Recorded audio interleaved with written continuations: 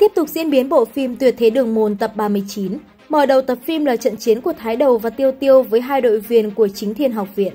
Thái Đầu sử dụng ra vũ khí là siêu tụ hồn đạo pháo. Đây là vũ khí công kích cá nhân mạnh nhất cho hồn đạo sư. Khởi động nó cần toàn bộ hồn lực của hồn sư 50 cấp. Phía chính thiên học viện đương nhiên sẽ không để cho Thái Đầu có thời gian bổ sung năng lượng. Bọn họ nhanh chóng bạo phát hồn hoàn. Tên hồn sư hơn 50 cấp lập tức bắn ra một mũi tên. Tiêu Tiêu sử dụng cái đỉnh ngăn cản thế công. Một tên khác thừa cơ hội này lao về phía Thái Đầu. Tiêu Tiêu lại phân sức lực ra ngăn cản, bọn chúng thấy vậy liền chuyển hướng về phía cô bé. Chỉ cần giải quyết Tiêu Tiêu xong thì sẽ dễ dàng giải quyết Thái Đầu. Dưới sự vây công của hai hồn sư phe địch, cô bé Tiêu Tiêu dù có hồn lực thấp hơn tận 20 cấp thì vẫn có thể ngăn cản. Không biết nên nói là Tiêu Tiêu có lực phòng ngự mạnh mẽ hay đối thủ có sức chiến đấu quá yếu. Đến khi phòng ngự của Tiêu Tiêu bị công phá thì khẩu pháo của Thái Đầu cũng ngưng tụ thành công. Hắn tức giận, phóng ra một kích khủng bố. Phe địch cũng sử dụng hồn kỹ ngăn cản nhưng đối mặt với uy lực của khẩu pháo, sự phản kháng của bọn họ là quá yếu. Cả hai bị vụ nổ đánh cho sấp mặt. Một người thì nằm bất tỉnh dưới đất, người còn lại thì bị trọng thương.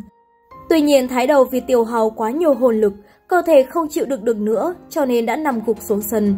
Vì hai thành viên đều đã ngã xuống, phe địch tuy không còn sức chiến đấu nhưng vẫn còn sức đứng dậy, cho nên kết quả trận chiến này, phía chính thiên học viện đã giành được chiến thắng.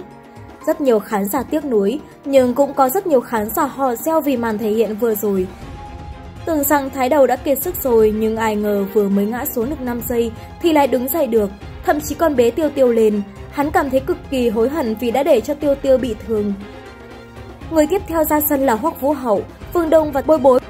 Hai bên nhanh chóng lao vào nhau ẩu đả. Bối Bối bị Diệp vô tình tác động vật lý vào mặt và ngực. Hoắc Vũ Hậu cũng bị hắn ta đẩy lùi. Cậu nhanh trí phóng ra chiêu linh hồn xung kích tấn công, rồi lại dùng ám khí hỗ trợ Bối Bối.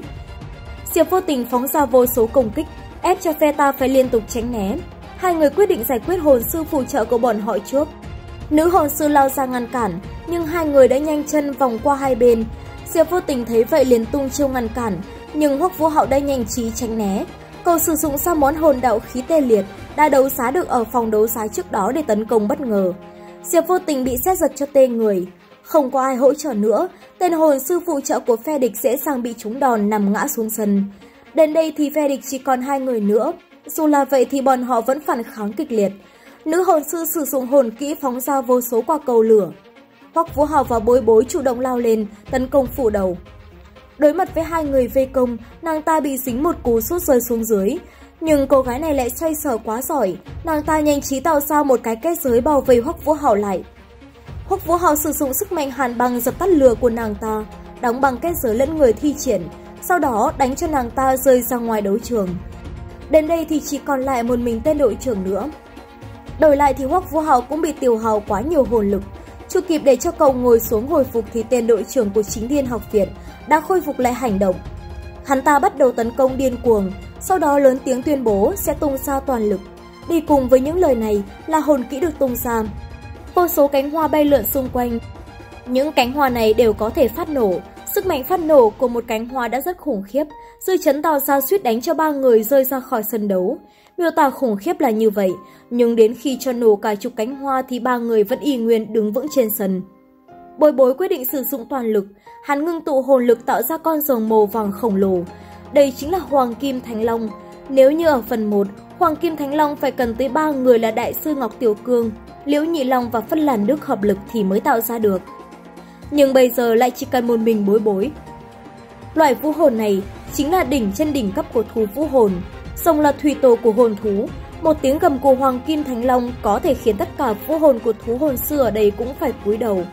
Tất cả mọi người đều bật dậy để xem. Rồng vàng há miệng phóng ra sấm sét, quả cầu sấm sét được bối bối ngưng tụ vào trong lòng bàn tay. Hắn cùng với Diệp Vô Tình đồng loạt lao lên trên trao đổi chiêu thức, uy áp tỏa ra vô cùng kịch liệt. Diệp Vô Tình vẫn tiếp tục cái sớm, gã ta đâu biết rằng ý định của bối bối lại chỉ là cầm chân để cầu rời cho Hoắc Vũ Hậu vào Vương Đông dung hợp hồn kỹ. Một luồng sức mạnh đánh trực tiếp lên cơ thể hai người. Bồi bối chấp nhận ăn đòn cùng với Diệp Vô Tình để giúp cho đoàn đội sử lại khắc giành được chiến thắng. Tuy nhiên, Diệp Vô Tình lại là hồn sư có hồn lực rất mạnh. Tốc độ khôi phục cũng vượt xa người bình thường, cơ thể bị đóng băng của hắn chậm rãi khôi phục. Nhìn thấy tình thế không ổn, Hoắc Vũ Hạo đành phải bất chấp nguy hiểm, cưỡng ép sử dụng ra chiêu thức đến từ hồn cốt. Khí lạnh bạo phát ra xung quanh, sân đấu xung quanh lập tức bị cậu đóng băng. Cậu lấy tốc độ nhanh nhất lao tới tác động vật lý vào ngực của Diệp vô tình. Vì cách biệt thực lực là quá nhiều nên không thể đánh bại được đối thủ. Nhưng mà nam chính lại có một bước đi cao tay hơn, đó là ôm theo Diệp vô tình bay ra ngoài sân thi đấu. Chỉ cần rời khỏi sân là sẽ bị loại khỏi cuộc chiến. Tuy nhiên chiêu thức vừa rồi lại khiến cho vị đại sư của tình là đế quốc nhận định rằng Hoắc Vũ hậu là hồn thú biến thành hình người. Nếu đã là như vậy thì chắc chắn phải tiêu diệt. Đúng vào lúc trọng tài tuyên bố chiến thắng thì biến cố lại xảy ra. Tên hồn sư phụ trợ của chính viên học viện chẳng biết từ khi nào đã đứng dậy. Hắn ta tiến hành đánh úp Vương Đồng. Lần này đúng là chủ quan rồi. Hắn sử dụng một cái chuông trấn áp Vương Đông không thể đứng dậy nổi. Tuy nhiên, Vương Đông lại không gục ngã. Hắn cố gắng đứng dậy rồi sử dụng ra vô hồn thứ hai của mình. Khán giả trên đài lập tức bật dậy hò reo. Nguyên nhân cho sự bất ngờ này là vũ hồn của Vương Đồng lại chính là khí vũ hồn mạnh nhất thiên hạ, Hạo Thiên Trùy. Dù không còn hồn lực thì sức mạnh của họ Thiên Trùy vẫn cực kỳ khủng khiếp. Tên kia sợ tái mặt mày. Vương đông không ngần ngại dùng cái chùy khổng lồ của mình bổ cho đối thủ tê tái. Khung cảnh này thực sự là quá ấn tượng rồi. Và diễn biến của tập phim đến đây đã khép lại. Hẹn gặp lại các bạn trong các tập tiếp theo nhé. Xin chào!